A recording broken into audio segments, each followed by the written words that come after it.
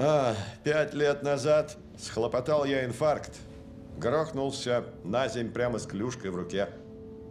Как оказалось, то был мой звездный раунд. Ведь после 13 часов операции тройного шунтирования я обрел то, чего мне не дали 40 лет армейской службы. Понимание. Мир перед мстителями в неоплатном долгу.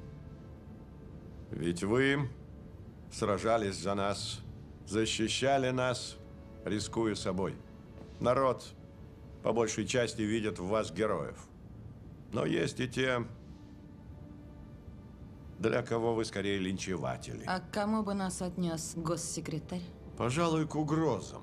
Как назвать группу лиц, обладающих чудовищной силой, не признающих суверенность государственных границ и никому не подчиняющихся? И, что самое главное, признаемся честно, чихать они хотели на возможные последствия. Нью-Йорк.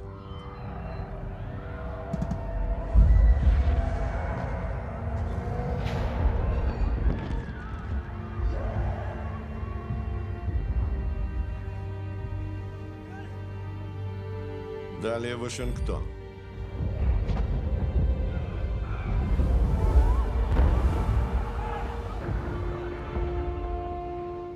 Заковье.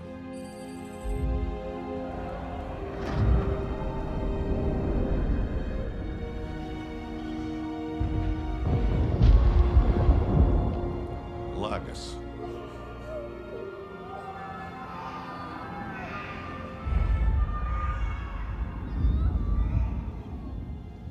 Ну все, достаточно. Последние четыре года у вас были безграничные возможности и никакого надзора. И теперь мировая общественность больше с этим мириться не желает. Впрочем, мы нашли выход. Заковианский договор. Одобрен 117 странами. В нем прописано, что «Мстители» отныне не являются частной организацией. И впредь они будут действовать под надзором комиссии ООН. И только в тех случаях, когда комиссия сочтет это необходимым. Задача Мстителя – оберегать мир от опасностей. Что мы и делали. Скажите, капитан, вам известно, где Тор и доктор Беннер? Хоть примерно.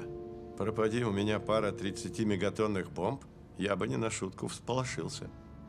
Компромиссы и заверения – вот на чем держится мир. Поверьте, это наименьшее из зол. А тут свод ограничений. Через три дня Совет ООН встречается в Вене для ратификации договора. Обмозгуйте. А если наше решение вам не понравится? Уйдете в отставку.